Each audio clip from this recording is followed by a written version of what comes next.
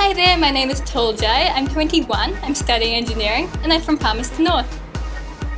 I'd like to be Miss Universe New Zealand because I believe that the Kiwi woman is smart, strong, confident, and can do anything they put their mind to.